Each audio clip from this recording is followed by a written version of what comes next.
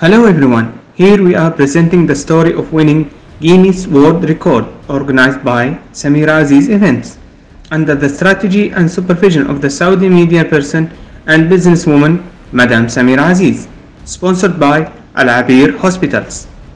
Hi, I am Sameera Aziz. When I started my preparation for Guinness World Record event in 2017, the agent in United Kingdom told me that you cannot make it.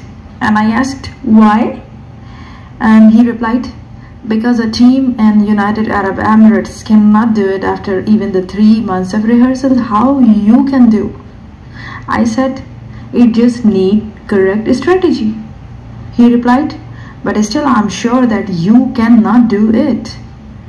I asked humbly, but why? He said, because you are a Saudi. It hurts me. I said, just wait and watch. And next, you can see what happened.